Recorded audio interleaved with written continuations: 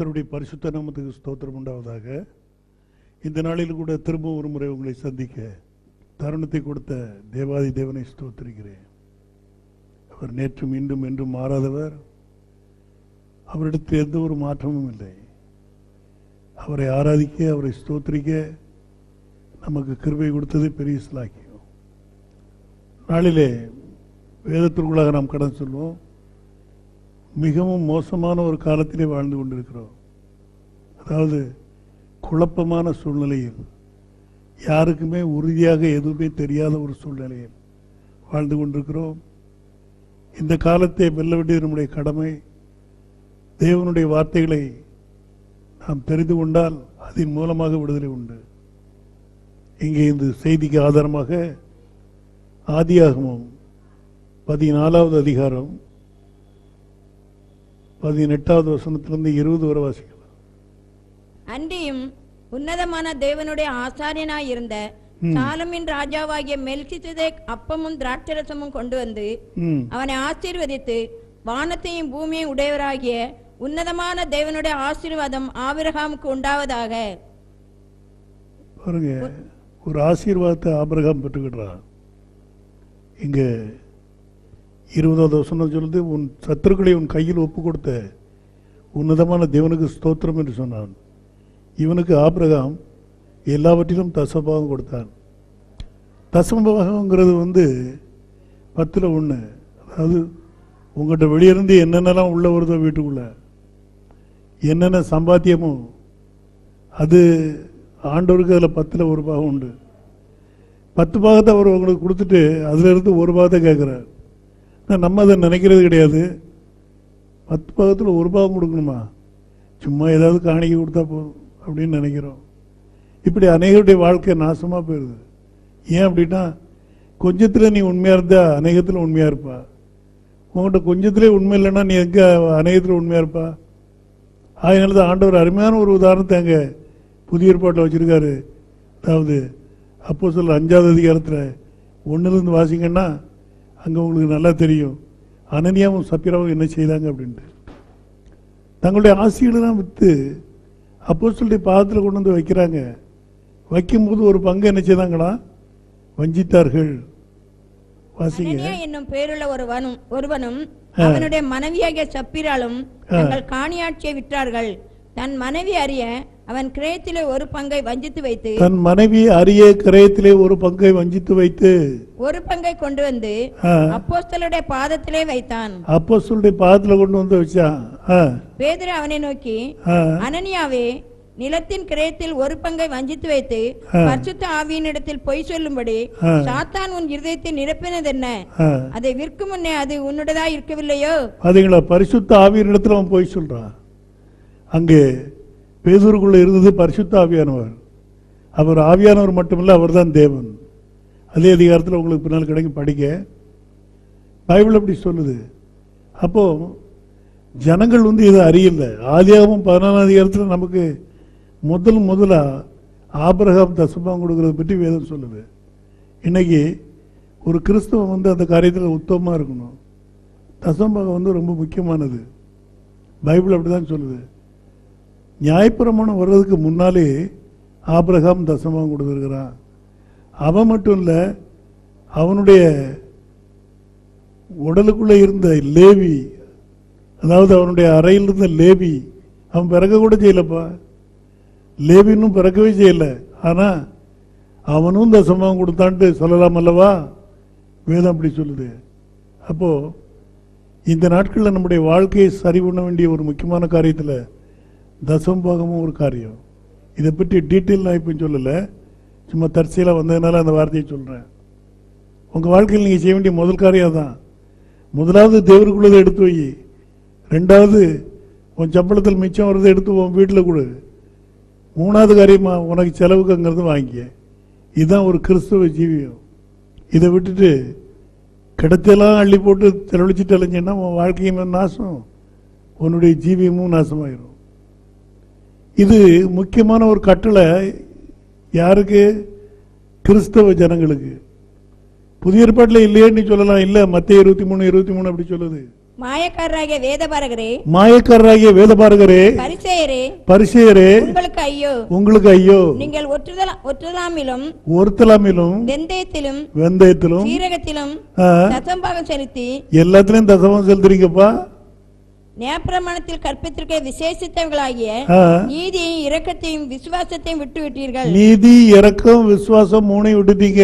இவைகளை செய்ய வேண்டும். இவைகளை செய்ய வேண்டும். அவைகளையும் விடாதிருக்க வேண்டுமே. அவைகளை செய்யாண்டான்னு சொல்லல அவைகளை நீ செய்யணும்.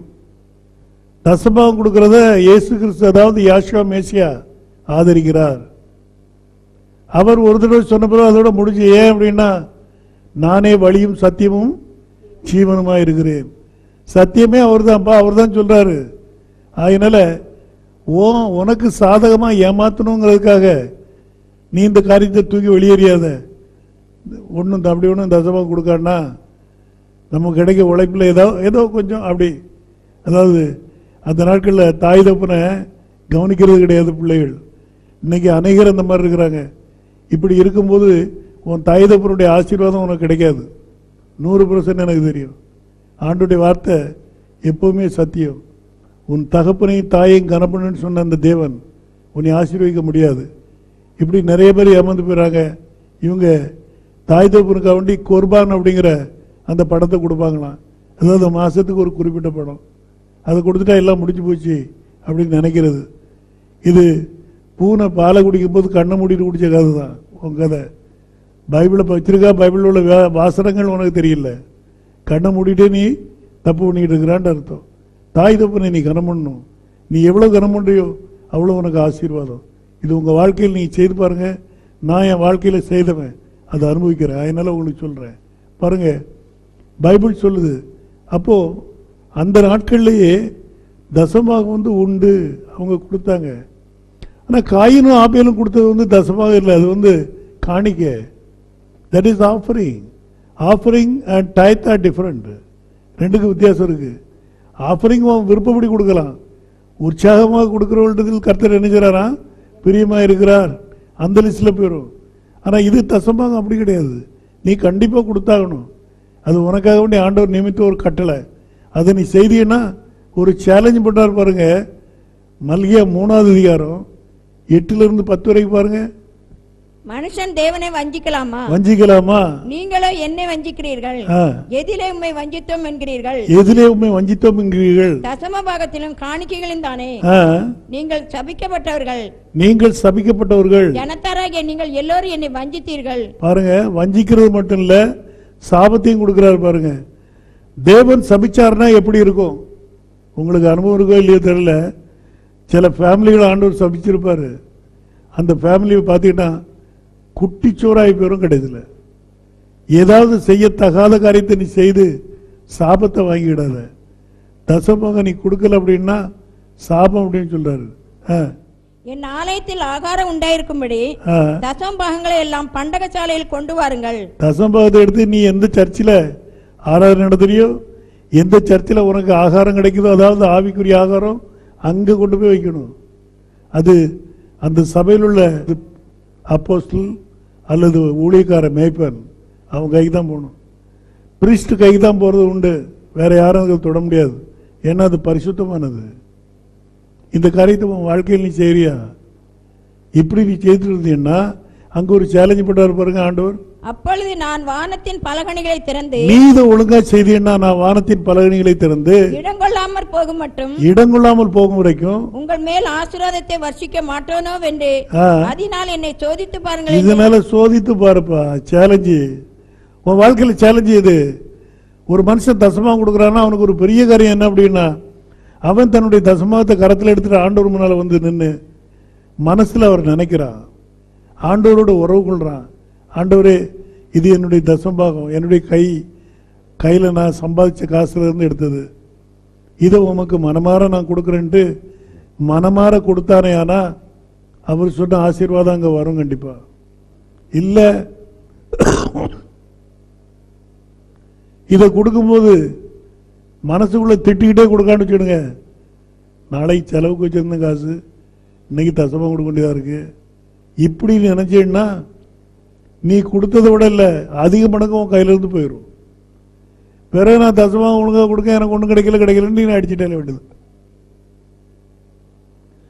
இருதயத்தில் சுத்தமுள்ளவர்கள் பாக்கியவார்கள் உன் இருதயம் சுத்தமா இருக்கட்டும். ஆண்டவர் அதை விரும்புகிறார் பாருங்க இங்க மெல்கிசேதேக்கு ஆசாரியன். யார் இந்த மெல்கிசேதேக்கு? மெல்கிசேதேக்கு யாரையா வேற யாருமா? இவன் யாருக்கு சமமா? தேவனுடைய குமாரனுக்கு ஒப்பாய் இருக்கிறான். தேவனுடைய குமாரனே தான் வேற யாரும் இல்லை. ஏன் அப்படின்னா இவனுக்கு தாயும் தப்புன்னு கிடையாது. வம்ச வரலாறு கிடையாது. இவனை பற்றி எபிரேயர் ஏழாம் அதிகாரத்துக்கு வாங்க. இந்த மெல்கிசேதேக் சாலமின் ராஜாவும் ஆ, யார்கிட்ட பாருங்க. உன்னதமான தேவனுடைய ஆசாரியனுமாய் சாலமீனின் ராஜா உன்னதமான தேவனுடைய ஆசாரியனா இருந்தான் ராஜாக்களை முறியடித்து வந்த ஆபிரகாமுக்கு இவன் ராஜாக்களை முறியடித்து வந்த ஆபிரகாமுக்கு எதிர்கொண்டு போய் அவனை ஆசீர்வதித்தான். இது ஒரு பெரிய ஒரு மேட்டர் உள்ள அடக்கிடக்கு பாருங்க. தேவன் மனுஷனை எப்போ சந்திக்கிறாருங்கிறத பாருங்க. அவர் அவர் உன்னை சந்திக்க ஆசைப்படுறார். ஆனா எங்க சந்திக்கிறார்? ஆபிரகாம் ஜெயம் பெற்று வெளியே வரான் லோத்தும் அவனுடைய உடைமைகளும் அவனுடைய மனைவி எல்லாத்தையும் கொண்டு போட்டான் ராஜாக்கள். முறியடிச்சு. லோத்துக்கிட்டு இருந்து கொண்டுட்டு போனதுனால இப்போ ஆபிரகாம் நினைச்சான் யுத்தத்துக்கு வந்து நிற்கிறான் தன்னுடைய ஆட்களோட. போய் அவங்களோட யுத்தம் பண்ணி அடித்து அவ்வளோத்தையும் திரும்ப பெற்றுட்டு வர்றான் இவன் ஜெயம் பெற்று திரும்பி வரும்போது அவனை சந்திக்கிறதுக்கு இங்கே பிரதான ஆசாரியன் யார் நிக்கிறா? மெல்கி சித்தேக். இவன் உன்னதமான தேவனுடைய ஆசாரி அப்படின்னு சொல்லி பைபிள் சொல்லுது.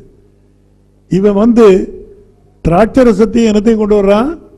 அப்பத்தையும் கொண்டு வர்றான். ரெண்டு காரியங்களும் அவன் கொண்டு வர்றான்.